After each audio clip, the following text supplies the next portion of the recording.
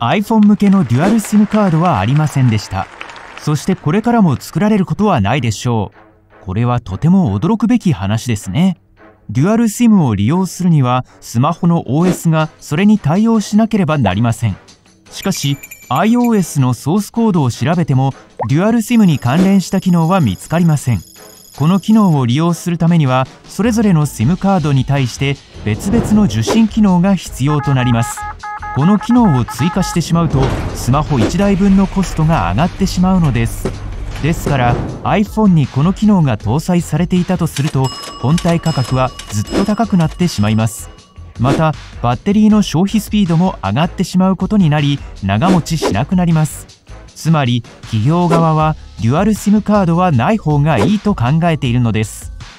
その代わり iPhone の最新機種は eSIM 機能を追加で持っておりこれがデュアル SIM のスロットとして機能します。2枚目の SIM カードは物理的なカードではなくデジタル化されたものという扱いです。これを使用するには全ての情報をスマホにアップロードする必要があります。取得するにはプロバイダーのオプションの中で eSIM を利用するものを選ぶと良いでしょう。するとそのプランをデバイスで使用するための QR コードが渡されます。あるいは詳細情報を手打ちで入力するという方法もあります。そしたら SIM カードにそれぞれのラベルをつけておきどちらが仕事用でどちらが使用のものなのか区別できるようにします。そしたら両方のカードを使用することができますよ。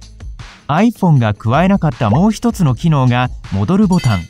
昔の携帯にすらこのボタンはありました。ホームボタンだった場合もありますね。とにかくこのボタンがないことで多くの利用者は最初混乱しました。しかしこの戻るボタンを付け加えなかったのには理由があります。iPhone は左から右へスワイプすることで同様の操作ができるからです。物理的なボタンは必要ありません。スマホの横についているボタンを操作するとマナーモードにすることができます。着信音も通知もこれで聞こえなくなります。しかし特定の人からの着信のみ聞きたいという場合はその連絡先だけをアンミュートすることができます。こうするとその他の着信音は聞こえない状態になりますがその人の着信には気づけるようになります。母親からの電話とかいやいやそれはやり方はこちら。連絡先へ行き相手の情報へ行ったら編集を開き着信音。そして緊急時は鳴らすをオンにします。これでマナーモード中でもこの人からの電話は音が鳴るようになります。たまにゲームをさせてあげたり記事を読ませたり写真を見せたりという目的で誰かにスマホを預けることがありますね。しかし誰かの手にスマホを預けるということは個人情報を見られるリスクを冒すということになります。そんな時でも不安にならないためには iPhone のアクセスガイド機能を利用しましょう。この機能を起動すると相手はそのアプリを終了することができなくなります。設定から一般アクセシビリティそしてアクセスガイドをオンにします。そしたらパスコードを設定しましょう。写真の一部をプライベート設定にすることもできますよ。やり方は設定したい写真をタップしシェアボタンをタップ。そこから非表示を選びます。隠れたアルバムを見るには写真へ行きアルバムへ行き下へスクロールした先で見つけることができます。見つけた人はアクセス可能なので実際には完全に非表示になっているわけではないことにご注意。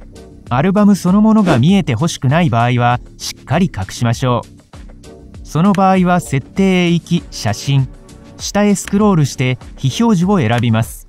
デフォルト設定ではオンになっているためこの状態では見えなくなっているはずです。これを戻すには設定を変えましょう。写真に文字情報をタグ付けすることもできます。そうすれば一枚一枚写真を探す手間も省けるはずです。バスの時刻表の写真を撮ったとしましょう。退屈な写真だって？写真を開き上へスワイプ。すると文字情報を追加する領域が現れます。そこにキーワード。例えばバスと入力すれば後で探す時にはワード検索をするだけでその写真を呼び出すことができるようになります。大抵の場合最後に撮った写真がサムネイルとして表示されるようです。もちろんこれも設定が自由。好きなように変えることができますよ。アルバムへ行きそれを見つけたらタップして長押し。キー写真に設定します。例えばホーム画面の写真から特定のアイコンをハイライトしたい場合単にスクリーンショットを撮っただけではアイコンの場所が分かりにくいでしょう。ですから代わりに撮ったスクリーンショットをタップし編集をします。プラスボタンをタップしたら虫眼鏡をタップ。選んだ場所が虫眼鏡のようにズームされます。そのサイズとどう調整して特定の場所をハイライトすることができます。サファリにはホームページのすべてをスクリーンショットする機能があります。通常のスクリーンショットを撮ったらそれをタップし編集モードにします。上のパネルからフルページを選択しましょう。これで全ページの写真が撮れます。